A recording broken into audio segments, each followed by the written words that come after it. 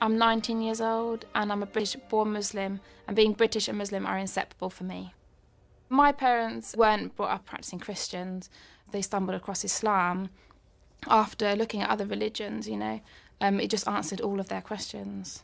I always knew that it wasn't the norm for British people to be Muslim. I went to a state school from the age of four, um, so I didn't go to school with Muslims.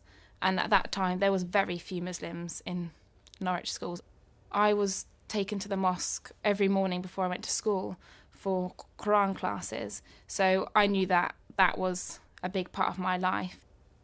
A man in the community gave me a job at his local trainer's shop.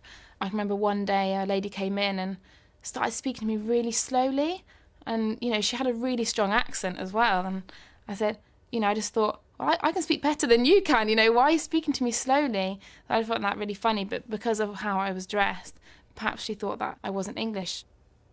I've come from a British background.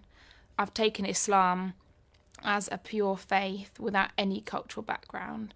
So I've taken on the teachings of Islam as pure as they get, but I still feel connected with the people in England. I don't feel discriminated against as a Muslim woman in, living in Britain.